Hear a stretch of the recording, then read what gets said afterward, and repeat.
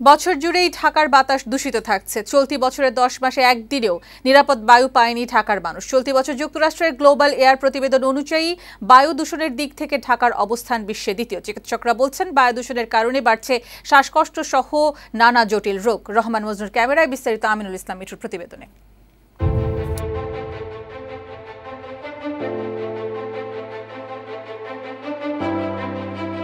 পাখির চোখে দেখা ধোঁয়াশাচ্ছন্ন ঢাকার চারিপাশ।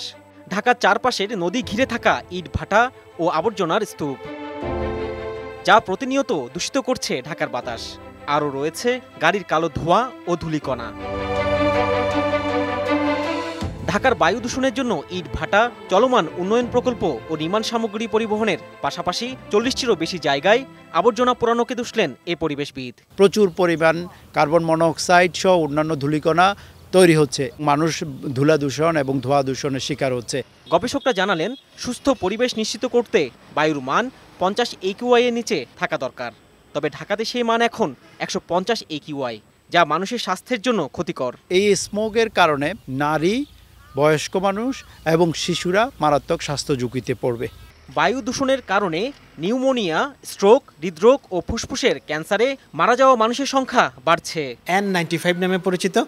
এই মাস্ক ব্যবহার করার কারণে খুব ক্ষুদ্রাতি ক্ষুদ্র অনেক ধরনের জীবাণু এই মাস্কের মাধ্যমে ঢোকা সম্ভব নয়। বায়ু দূষণকারীদের আইনের আওতায় আনতে পরিবেশ অধিদপ্তরের সীমাবদ্ধতার কথা জানালেন এই কর্মকর্তা। আমাদের যে ইউটিলিটি সার্ভিস ঢাকা ওয়াসা গ্যাস সিটি কর্পোরেশন ওনারাও রাস্তা কাটেন।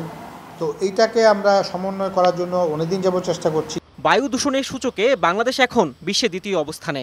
এক নম্বরে আছে ভারতের দিল্লি। দুহাজার সতেরো সালে দূষণের কারণে নানা রোগে দেশে এক লাখ তেইশ হাজার মানুষ মারা গেছে। গবেষকরা বলছেন, বর্তমানে বছরে প্রায় দুশো দিন ঢাকার বায়ু মারাত্মক অস্বাস্থ্যকর থাকে। আর এই দূষণযুক্ত পরিবেশে কোনো শিশু বেড়ে উঠলে তার গড় আয়ু এক বছর তিন মাস পর্যন্ত কমে যেতে পারে। তাই বায়ু দূষণ কমাতে সকলকে সচেতন হতে পরামর্শ দিচ্ছেন বিশেষজ্ঞরা। আমিনুল ইসলাম মিঠু বৈশাখী সংবাদ ঢাকা।